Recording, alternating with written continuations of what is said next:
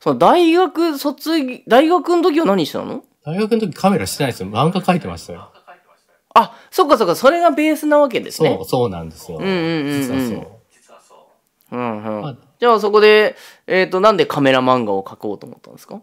ちょっと普通の漫画を描いてても、いまいち受けなかったんですよね。書き換えることを書いていてはダメだなと思って、で、悩んでたら締め切りがすごく近くなって、今書けるのはもうカメラ漫画をパパッと書くしかねえな。カメラ漫画を書いて、それが小、ちょっとうまいこと受け入れられていったんですよ。あでー、カメラバカの前に何作かカメラ漫画を書いてて、それで行ってて、で、より一層締め切りが厳しくなった時に、こう、沼の漫画を殴り書きしようって言って始まったのがカメラバカですね。あの漫画はこう追い込まれなければ生まれてなかったわけそう、そうですよ。追い込まれた結果ですよ。もうあれ、だから一巻の最後にもちょろっと書いたんですけど、もう雑巾を絞ったカスみたいな感じだったって言書いてあったもうね。これ以上書けねえって言って、これでダメだったらもうダメって言って、こんなものしか書けなくてごめんなさいみたいなこと書いてたんですけど、うんそれが良かったのかな。漫画見た時の第一印象がね、もうあの、カメラ漫画界のスーパーロボット対戦だな、みたいな。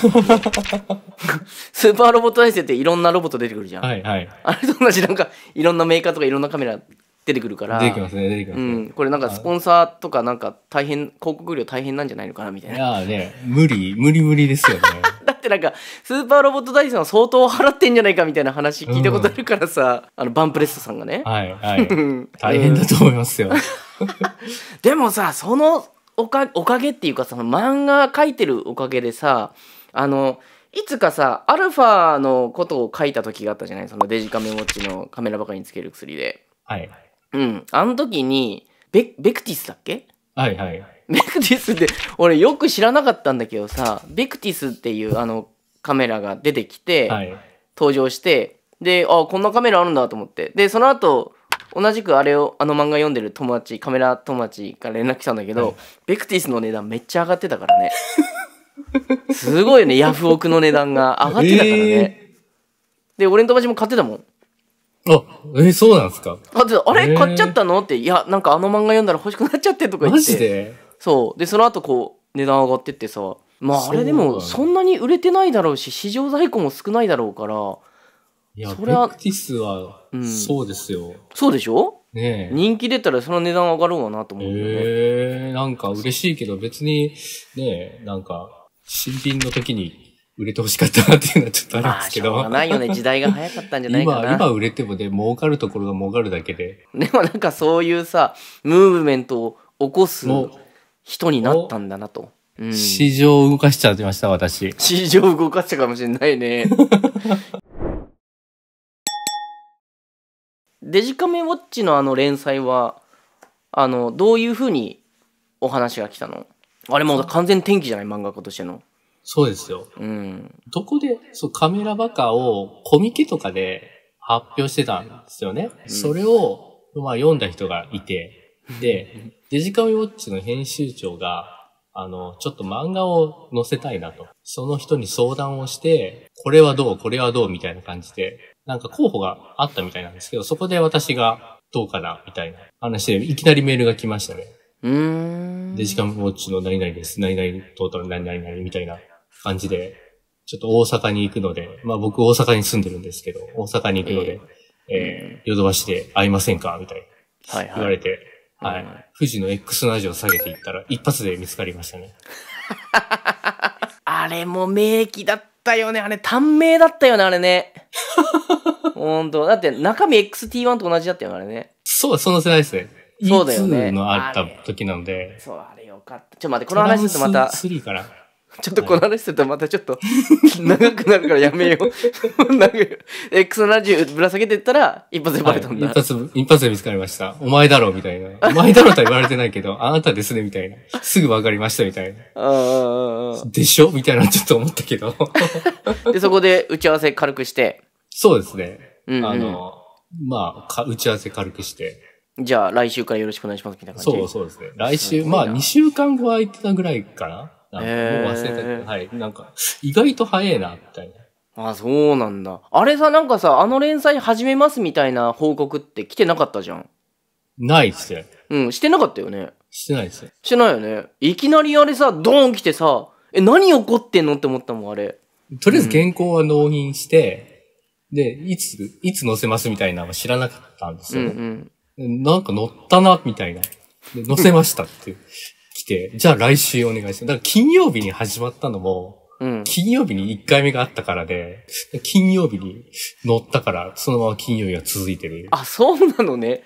あれさ、連載決まった時でさ、当時の職場の人に言ってた？あ、言ってましたよ。あ、言ってたんだ。みんな喜んだでしょ、じゃあ。いやね、デジカメウォッチをみんな知らないんですよね。うっそマジで？D 氏も？T 氏は知ってたけど、まあ、さすがに D 氏は知ってるよね。D 氏は知ってたけど、そうなんだ普通の人は知らなくて。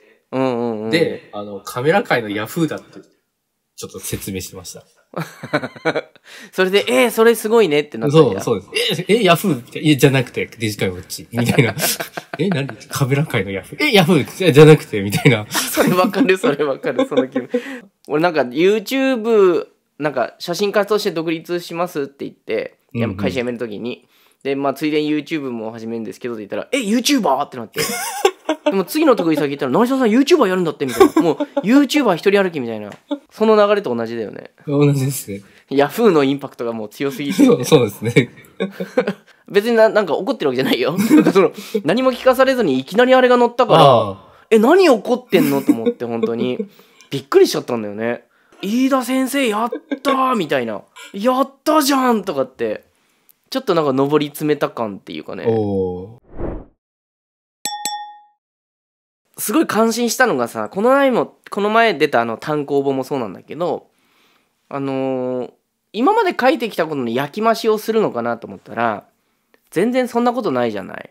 ああ、もうね、焼き増しはねう、んしたくないんですよ。あーだから単行本だってあれだって、結構書き換えてるでしょ？はい。まあ、こう、いろんなところからエッセンスは持ってきましたけど、まあうんう、ん。丸々持ってきたのはなんか10%ぐらいで、うんうん、うん。90%書き下ろしして、ただね、もうね、あれはしんどかった。しんどかった。あれは単行本？大変。まあでもだって普通に毎週1回の連載続けながら単行本でしょ？そう、そうです、そうです。うん本作るのって大変だよね。初めてのチャレンジの時やっぱりね、舐められたくないじゃないけど、やっぱちゃんとしたの出したいなっていう、ああ、そうです。まそういう気構えがね、あるよね。うん。まあそれがなんか表現されてる本だと思いましたよ、あれは。ありがとうございます。うん。もう単純になんか今までの歴史とか全部見てきた中でも、あなんか新鮮だったもんね。あ全然違う、全然違うこと書いてるみたいな感じで。なんか楽しめましたよね。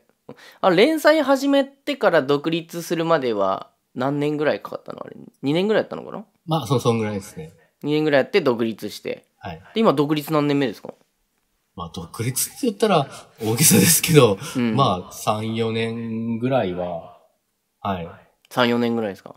俺ね、独立してもうすぐ丸3年なのよ。おおちょっと早先に辞めてるってことだよね。だから会社をね。社畜をちょっと先に辞めてるってことだよね。ー。そうですね。うん。そういうのはやそうですね。うやってねなんかこうやってでまたさ自分のチャンネルこうやって紹介する機会もあってさ。いやなんー、か本当ですよね。うん人生って本当どうなるか分かんないなっていう感じだよね。本当にそうですよね。うん、あのこの動画見てる方読者の方も多いと思うんですけど、えーまあ、今後の抱負からいこうか。今後の抱負ですか？うん。たまにその、アルファとか、そのベクティスの話とか、あとペンタックスの話とか、ちょっと長めのやつをやったりするんですけど、ああいうのを やっていきたいなって、ちょっと思ってあますあなるほどね。今ちょっとその単行本作業が苛烈だったので、はいはい。なんかこうネタを一回ずつ簡単に消費する、消化するような漫画しかちょっと今書けてないので、もうちょっとダイナミックな話が書けるといいなと。イオスの目覚めとかだよね。ああいう感じってこと？そうです。そうでなんかさすげえなんかクリエイティブなの書いてんなって思ったもんね。いやあれさなんかその当時 LINE 送った気がするんだけど実際にそのねカメラ市場のことなんとなくわかっカメラのことなんとか歴史分かってて、あの漫画見ると結構泣いちゃったもんね俺ね。おー。グッときたよ。どんな漫画なのか皆さんあのあれはウォッチ見ないと分かんないのか。そうですね、デジカメウォッチで。デジカメウォッチのイオスの目覚めっていうまあそういう、えー何回かに分けてね書いてたものがあったんですけど、結構ねあれはねグッときたんだよねあのあとミノルタがこうなるのにこの時はこうなってみたいなね。そうです、そうです。すげえ切ないって思ったもんあれ。まさかカメラ漫画で泣くと思わなかったよね。思わなかったよねほんとね。ジーンときた。でもあれ系のなんかクリエイティブなクリエイティブなんて言ったらちょっと薄っぺらいけどさ。だからそういう 自分のその書きたいものを書くっていうやつとまあ時事ネタみたいなのとか。そ。まあ、そのそれをこうもっと強化していきたいと。はい、はい。いう感じですかね。でもなんかこのチャンネル視聴者さん結構星とか取ってる人多いんだけど。星ね。あうん星ですよ。あの、成沢さん、星、あの、オポチュニティのうんあ風たたきのね。最近止まった。ああそう。あれ泣く。あれ泣いた。思わずリツイートしちゃったあれ。ああいう話もちょっと書きたいので、なんか、ああなるほどね。そういうのい。いですね。まあぜひなん宇か好きなんですよ、宇宙。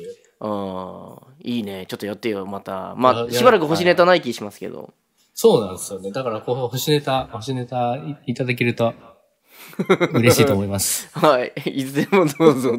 またオン、なんかオンライン打ち合わせ、ネタ会議だね。だなんかさ、あの、以前からさ、ね、そのネタ会議みたいなのやるときってさ、みんな飲み会でさ、来てんのにさ、一人だけでメモ帳とペン持ってこうやって、今、それ、それどういう意味ですか？みたいな感じのすげえ書いてたもんね。やります、やります。飲んでても、急に、ちょっと、ちょっといいですかって言って、iPad 取り出して、メモしますからね。はいはい。星ネタはぜひ取り上げていただきたい。はいあとタイムラプスネタもね、ちょっと難しいけどさ。タイムラプスの醍醐味教えてくださいよ。タイムラプスの醍醐味？なんだろうね。いやでもね、出来上がったものを見た時の感動ってすごいよ。結構やっぱ、うん撮るまでが辛いっていうか長いからさ、ああ。長いし、わけわかんないから、あの、ちゃんと自分の想定通りのやつが出来上がった時っていうのはやっぱすごい感動だし、うんそれこそあれって時間の経過を読むから、もう言ってしまえばその、この先起こることを予測しても構図とか決めて撮影始めなきゃいけないからね。ああ、なるほど。うん、だからその自分の予測もう予言者と同じねもう自分の予言が、あの当たった時に「よっしゃ!」みたいなさ もあるしあと自分が思いがけないあのーまあその天候だよね、うん急に雨が降ってバー晴れて虹が出たとかさうん曇ってた中で雲が晴れて天天の川がドーンと落ちたとかそういう自分が想定してない中でもちょっと期待してる以上のことが起こるとうんめちゃめちゃ感動するよね。うん。う。うんんっていうなんか自分自身がその時間の経過を、えー表現することで一番感動してるかもしれない漫画のキャラクターそれぞれのメーカーごとにキャラクターがいるじゃないはい、そうですね。あれはなんかそのあのレンズが明るいイメージのメーカーはおっぱいが大きいんでしょ？そうです、そうです。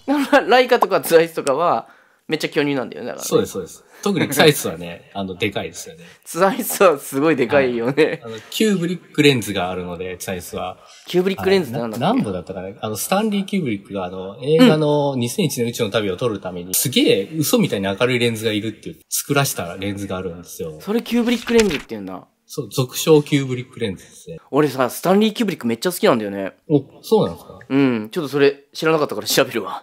まあそれでツアイスのおっぱいが大きいわけねそうです。で、おっぱいも腰も、お尻もでかい。あ全部でかい全部でかい。ちなみにあの理想の女性はなんて芸能人で例えると？